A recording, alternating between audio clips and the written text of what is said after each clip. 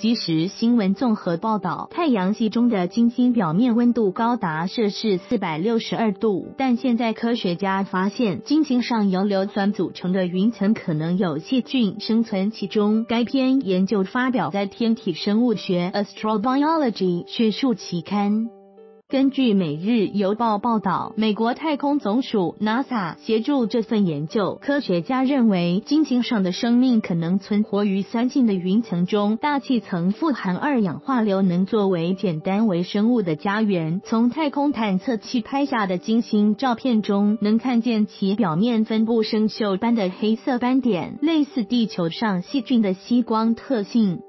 来自波莫纳加州州立理工大学 Cal Poly Pomona 的论文合著者认为，在地球上，我们知道生命可以在非常酸性的条件下生长，摄取二氧化碳以生产硫酸。研究指出，尽管金星炎热，但大气层中的微生物可以仰赖风吹降温而得以生存。